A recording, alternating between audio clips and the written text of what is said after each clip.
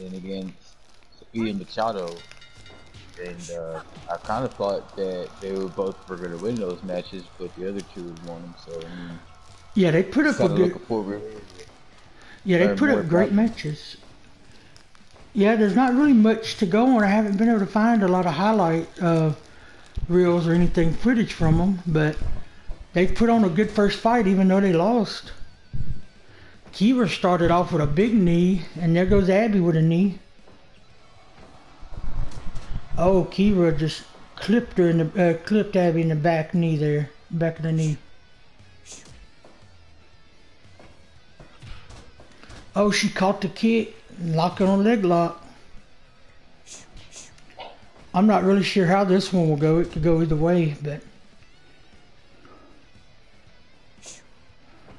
Know Nuno, Abbie Nunes was very impressive in her first fight. She yeah. kind of went up against somebody who was just a little bit better than her that night. Yeah, Abbie's got some impressive combos. Key was, oh, nice leg lock by Kira, but Kira's going to have to defend against those combos if she stands a chance here.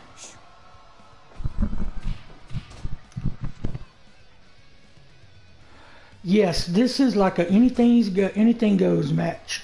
well, a federation or promotion. There's no rope break, no TKO. We go five rounds for five minutes each. And these these two uh, ladies are from our Femme Fatale division.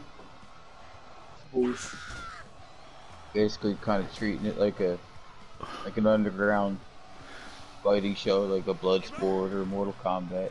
Something yeah. that nature. Exactly. Kira with a leg hook. Still can't get a submission.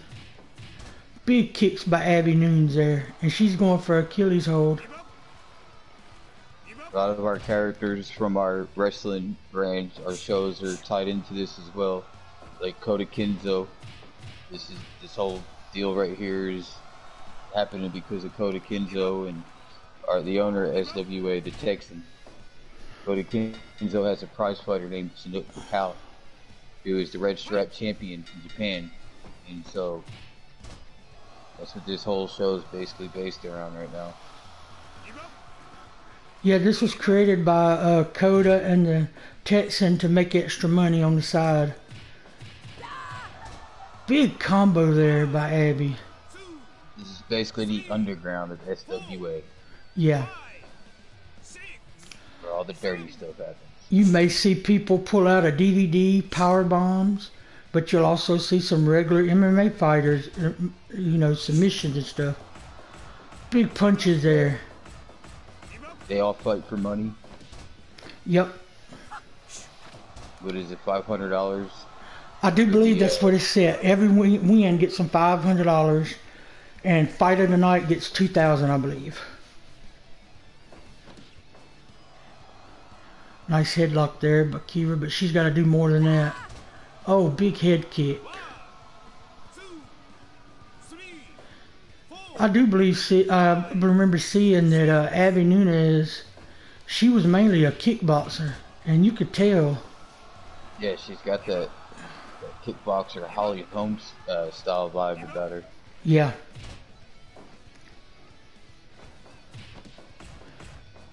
Big knees there, Bakira.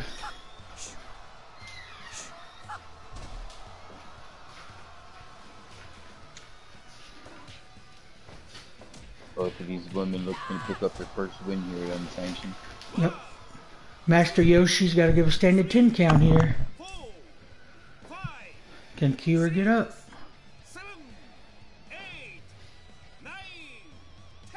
No, it is over. way to redeem herself. Yep. That was a good way to redeem herself from her first loss.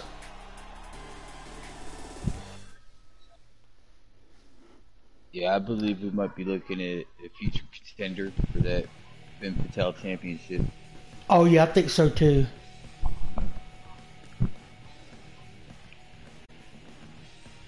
I'd like to see her in a rematch against um, or Andrea Blaze the Redeemer.